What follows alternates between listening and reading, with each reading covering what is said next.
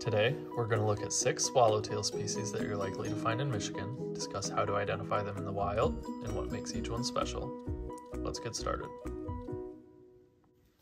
What makes swallowtails unique is, of course, their tails. You'll notice on each one of these species a pair of tails extending off the hindwings, which is exactly how they get their name.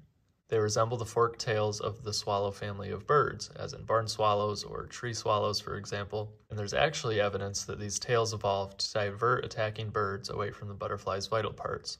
So when a bird comes in, it's drawn to the tails, which break off easily, and the butterfly can escape. That said, you may see some in the wild that are missing a tail, like this one here. Could be missing both, but a lot of the times you'll find them with both tails intact. Swallowtails overwinter as a chrysalis, and therefore they do emerge a bit earlier than most other butterflies. You can find them flying as early as April all the way through late September. They generally have two broods throughout the year, and a lot of the times you'll find that the ones in the spring are a bit smaller than the ones that come later in the summer. And a lot of swallowtails are quite a bit larger than most other Michigan butterflies. And that is especially the case for the first butterfly that we're going to look at. This one is not only the largest swallowtail species, but it's the largest butterfly in all of Michigan. Appropriately named, the giant swallowtail can extend as much as six inches. Now we're going to take a good look at all of these butterflies from both the top and the bottom. With swallowtails especially, it's important to be familiar with both because they often pause to nectar at something and they'll be fluttering their wings open and shut like this and therefore you may only get a brief look at the butterfly from any given angle, so we'll cover some quick characteristics that you can use to ID them. That said, let's take a closer look at the giant swallowtail. This butterfly is predominantly dark brown or black, and you'll also notice rows of yellow spots that form an X up here on the forewing. From underneath, this butterfly is predominantly yellow, and you'll want to notice how the yellow on the margin of the wing extends almost all the way to the edge. That'll make more sense when we get to the tiger swallowtail, but just take note of how this looks. This butterfly is relatively uncommon. Its range is limited to the southern half of the lower peninsula. It uses prickly ash for a host plant, so you'll often find it in forests or woodlots if they contain the host plant. Occasionally you can find it in gardens or along roadsides as well. Again, due to its size, this butterfly is fairly distinct, but overall it is uncommon.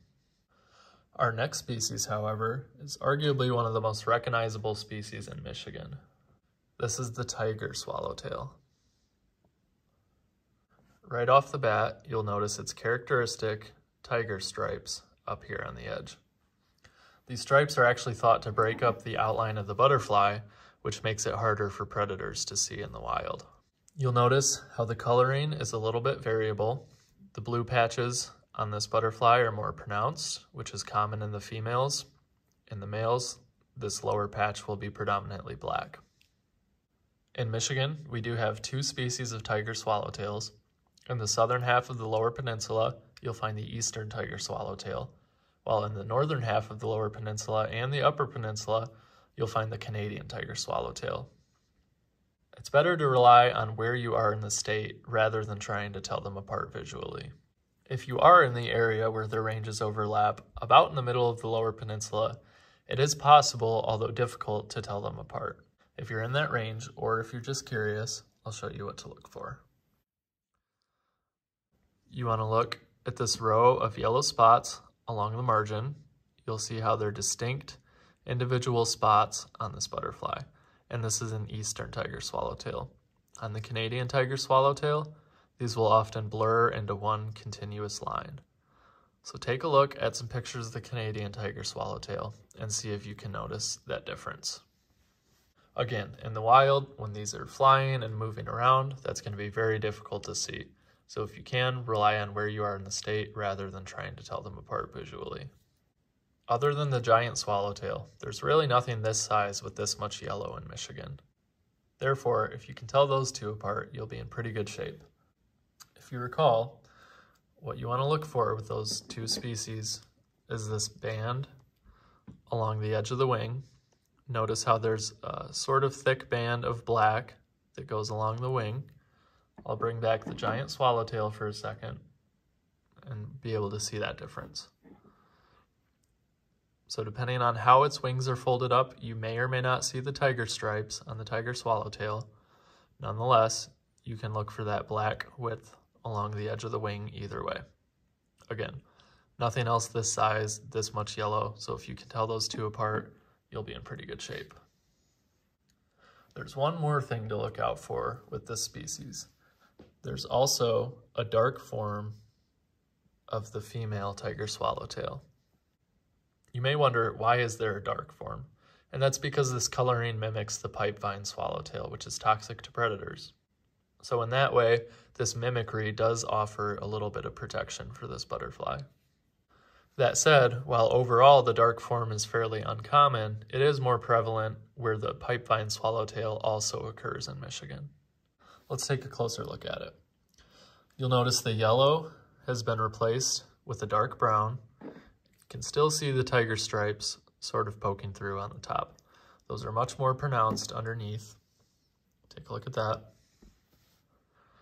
You'll also want to notice how there's a single row of orange spots on the wing. That's going to be important when we get to the other dark colored swallowtails.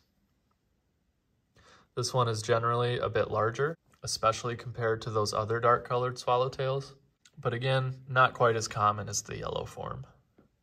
The tiger swallowtail is fairly widespread. It prefers black cherry as a host plant, so really you can find this anywhere with black cherry growing. That could be near woodland edges, uh, woodland openings, or even backyards if they have black cherry. And with that, we'll move on to our next species. The black swallowtail is arguably one of the most common swallowtails that you're going to find. This butterfly uses members of the carrot family for host plants most commonly Queen Anne's lace in the wild, but you can also find the caterpillars munching on uh, parsley, dill, or carrots if you have them in your garden. That said, they are common in gardens, farmland, and especially old fields where you find Queen Anne's lace growing. You'll notice again, the coloring is a bit variable between the two. You'll notice more pronounced blue patches here, while the one on the left, yellow patches are gonna be quite a bit thicker. This thicker yellow coloring is fairly common in the males, while the blue patches are more typical of the females. The most important thing to notice is this yellow dot at the top of the wing. This spot is going to set it apart from the other dark colored swallowtails, especially the spice bush, which is very difficult to distinguish. From underneath, you're going to want to look at these rows of orange spots. You'll notice how there's two complete rows of orange spots. Again, that will make more sense when we get to the spice bush, but this top row is where you really want to focus your eyes right away. With that said, we'll keep moving right on to the spice bush swallowtail. This one is fairly common as well. Um, you'll notice right away that it looks very similar to the black swallowtail that we just saw. You'll often find with this species that the patches on the females, as shown here, are a little bit more blue, while the patches on the males have a little bit of a greenish tint. The spots along the wings are more of a bluish whitish rather than yellow in the black swallowtail. You'll notice from the top, you don't see the spot that we saw in the black swallowtail. And when we take a look at underneath, look at this row of orange spots. You'll notice how it's broken in the third slot from the left and you find a blue comet shape here. I'll bring back the black swallowtail for a second and you'll see how you can easily tell those apart. So you'll see the black swallowtail is a little bit smaller as well, but maybe you're looking from a distance. Your eyes should go right to that row of orange spots. From the top, you'll want to look for that yellow spot on the black swallowtail. The spicebush swallowtail uses sassafras for a host plant. It will also use spicebush, but sassafras is preferred. Therefore, you'll often find it along wooded edges uh, or even out in the woods, especially along trail sides or roadsides. It can be difficult to distinguish from the black swallowtail, but once you've seen it a few times, you'll, you'll start to be able to tell just based on the flight pattern and especially on the size between the two. Now the last two swallowtails that we're going to look at are a little bit more uncommon throughout the state. The zebra swallowtail is very recognizable. This butterfly is white with black stripes, or maybe it's black with white stripes, but I'll let you decide. You'll also notice two red dots down here at the base of the wings, and underneath there's going to be two red bars as well. Again, you'll see the characteristic zebra stripes.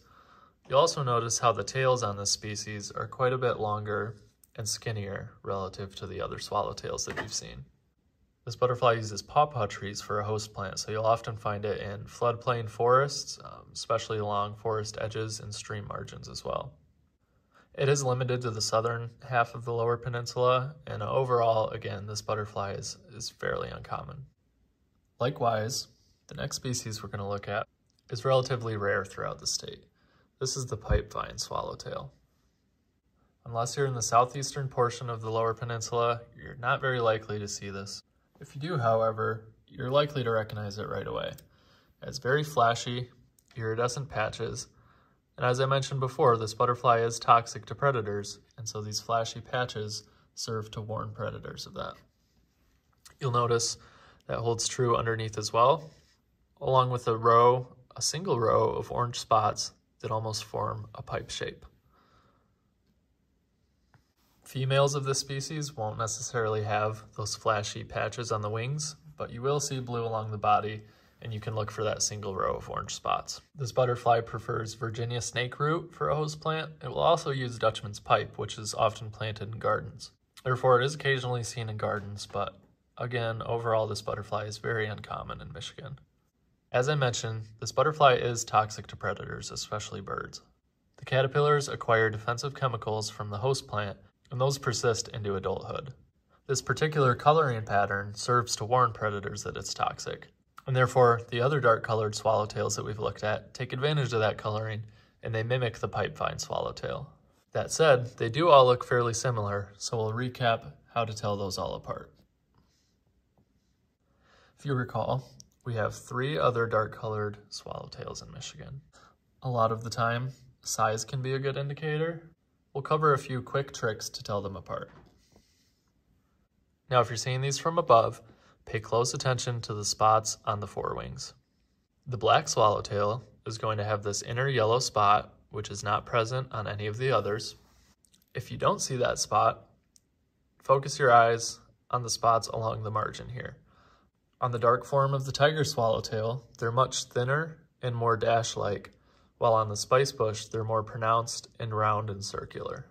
Additionally, the tiger swallowtail will often have yellow-colored dashes, while they'll often be more of a white or bluish white in the spicebush swallowtail. Now from underneath, if you recall, these two species both have two rows of orange spots, while these two only have a single row of orange spots. So if you see it from underneath, and you see two rows of orange spots, look for that little missing tooth or the blue comet shape, which will distinguish the spice bush and the black swallowtail. Now if you see a single row of orange spots, you have two options, the tiger swallowtail and the pipevine. You're likely to see those blue flashy patches. If not, you'll most likely see the tiger stripes on the eastern tiger swallowtail and be able to tell those two apart. Lastly, we'll recap our two yellow species and then we'll take one last look at all of these together. All right, so now we have the giant and the tiger swallowtail again.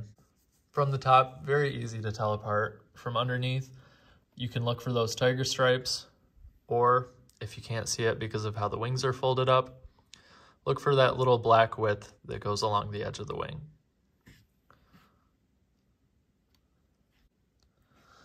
I'll bring all the butterflies out for just a second. And then, as a little bit of a bonus, we're going to look at one more species that's not a swallowtail, although you may confuse it with one. This butterfly also mimics the pipevine swallowtail, and that would be the red-spotted purple. This butterfly is quite striking. A lot of the times, depending on how the light is hitting it, it can look more black, and you can see generally how you could easily mix that up with a swallowtail. Underneath, you're going to find orange spots as well, but much closer to the body. Again, the red spotted purple is not in the swallowtail family. It's more closely related to the viceroy, although you may mix it up with the swallowtail. It's just something to look out for. Alright, I hope that you found this video to be helpful, and that it helps you start to be able to identify them in the wild. If you'd like to test what you learned, be sure to check out our quiz on swallowtails, and thank you for watching.